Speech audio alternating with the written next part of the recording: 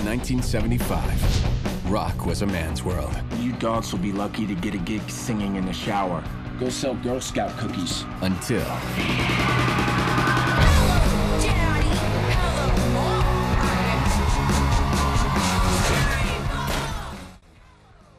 The Runaways, the movie based on the 1970s all girl rock band of the same name, which featured Joan Jett and Lita Ford, will have a limited release in America on March 19, 2010, followed by a nationwide release on April 9th. The film is partially based on lead singer Cherie Currie's 1989 autobiography Neon Angel, The Cherie Currie Story, which details her childhood, the group's meteoric rise to fame, and her battles with drug and alcohol addiction. The film is written and directed by Floria Sigismondi and stars Kristen Stewart as Joan Jett, Dakota Fanning as Cherie Currie, and Scout Taylor Compton as Lita Ford. Artisan News caught up with Lita Ford recently at the Rock and Roll Fantasy Camp, and she shared her thoughts on the upcoming movie. That's probably not something we should talk about, huh? It, yeah, let's skip it. Ford and Jett don't see eye to eye, and communication between the two has become strained since Kenny Laguna started to represent Jett.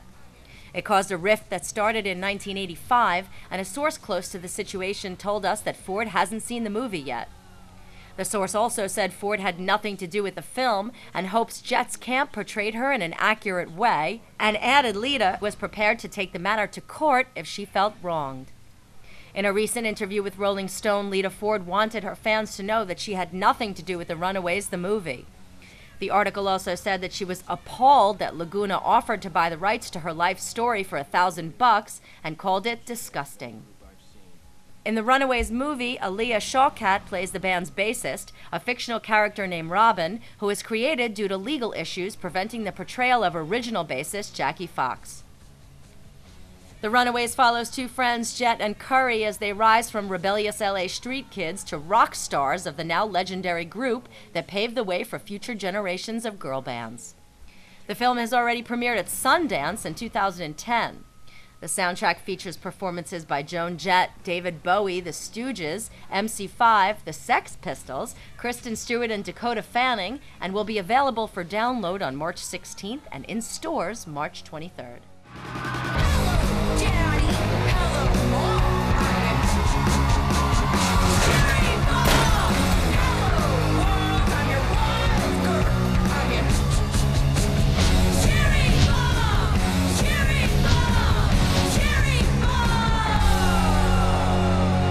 Runaways have the most chance of any group I've seen to tear this world apart.